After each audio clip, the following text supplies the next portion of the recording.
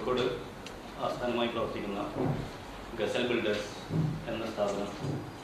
നേരത്തെ കോഴിക്കോട് വയനാട് ജില്ലകളിലായി അപ്പാർട്ട്മെന്റ് പ്രൊജക്റ്റുകളും അതേപോലെ തന്നെ കൊമേഴ്ഷ്യൽ പ്രൊജക്റ്റുകളും ചെയ്ത് ഇപ്പോൾ അടുത്ത പ്രൊജക്റ്റ് മലപ്പുറം ജില്ലയിൽ കോട്ടക്കലിൽ ആരംഭിക്കുന്നതിന്റെ ഭാഗമായി അതിന്റെ ലോഞ്ചിങ്ങിനോടനുബന്ധിച്ച് നടത്തുന്ന പത്രസമ്മേളനത്തിനാണ് നമ്മൾ ഇന്നിവിടെ വന്നിട്ടുള്ളത്.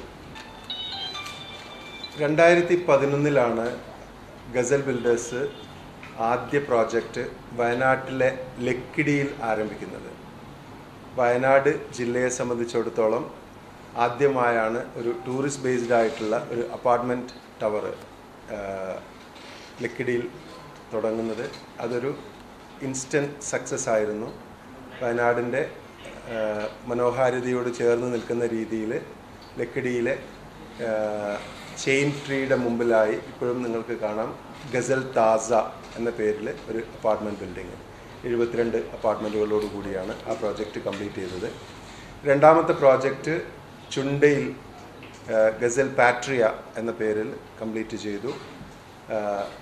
അതിനുശേഷം ഗസൽ ഫോക്കസ് ചെയ്തത് ബി ഒ ടി പ്രോജക്റ്റായ കൽപ്പറ്റ ബസ് ടെർമിനലായിരുന്നു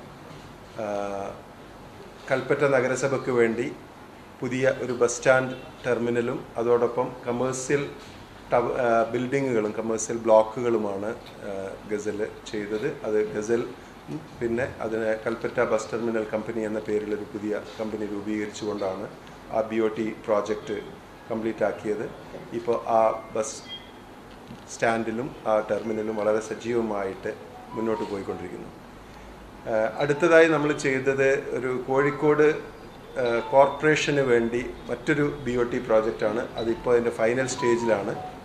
നിങ്ങൾക്കറിയാവുന്നതുപോലെ Kalluthan Kadavu vegetable and fruit market. ഇപ്പോഴുള്ള എല്ലാവരും പോയിട്ടുള്ള Palayam bus സ്റ്റാൻഡും Palayam vegetable and fruit market relocate ചെയ്യുന്നത് അതിലെ വെജിറ്റബിളും ഫ്രൂട്ട് മാർക്കറ്റും റീലൊക്കേറ്റ് ചെയ്യുന്ന ഒരു പ്രോജക്റ്റാണ്. ഒന്നര ഏക്കറിൽ ഇപ്പോൾ പ്രവർത്തിച്ചുകൊണ്ടിരിക്കുന്ന വളരെ കൺജസ്റ്റഡ് ആയ വളരെ വൃത്തിഹീനമായ സാഹചര്യങ്ങളിൽ പ്രവർത്തിച്ചുകൊണ്ടിരിക്കുന്ന പാളയം മാർക്കറ്റ് വളരെ ഇന്നൊവേറ്റീവായ ഒരു വളരെ സൗകര്യമുള്ള അഞ്ച് ഏക്കറിലേക്ക് മാറ്റി സ്ഥാപിക്കുന്ന പ്രോജക്റ്റാണ് ഈ Kalluthan Kadavu fruit and vegetable project. അതിന്റെ ഭാഗമായി നേരത്തെ ആ സ്ഥലത്ത് താമസിച്ചിരുന്ന ഒരു കല്ലുത്താങ്കടവ് സ്ലം ഉണ്ടായിരുന്നു ഒരു ചേരി പ്രദേശം ഉണ്ടായിരുന്നു.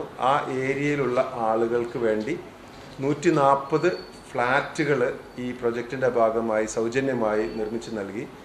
അത് ഉദ്ഘാടനം ചെയ്യപ്പെടുകയും അവിടെയുള്ള ആളുകൾ ഈ പുതിയ ഫ്ലാറ്റുകളിലേക്ക് താമസം മാറി ആ സ്ഥലത്തു കൂടി ചേർത്ത് വെച്ചുകൊണ്ടാണ് ഈ അഞ്ച് ഏക്കറിൽ ഈ പ്രോജക്റ്റ് ഇപ്പോൾ ഫൈനൽ സ്റ്റേജിൽ എത്തിയിരിക്കുന്നത്. ലാൻഡ് ഉള്ളത് അമ്പത്തിയഞ്ച് അപ്പാർട്ട്മെന്റും പതിനഞ്ച് നിലകളിലായിട്ട്. ഒരു ഫ്ലോറിൽ ഇട്ടുണ്ട് നല്ല രീതിയിൽ ലക്ഷറി ആയി തന്നെയാണ് അത് ചെയ്യാൻ ഉദ്ദേശിക്കുന്നത്. റേറ്റ് ഇന്നൊരു ഫൈവ് ഹൺഡ്രഡ് റുപ്പീസ് ഡിസ്കൗണ്ട് ചെയ്തിട്ട് കൊടുക്കുന്നതാണ് ഫോർ തൗസൻഡ് ഇന്ന് ഇന്ന് ബുക്ക് ചെയ്യുന്നവർക്ക്. ആധുനിക സൗകര്യങ്ങൾ വരുന്ന കൂട്ടത്തിൽ തന്നെ ഇലക്ട്രിക് വെഹിക്കിൾ ചാർജിങ് അങ്ങനെ കുറേ കാര്യങ്ങൾ അതിൽ ഡീറ്റെയിൽ ആയിട്ട് നിങ്ങൾക്ക് തന്നിട്ടുണ്ട്.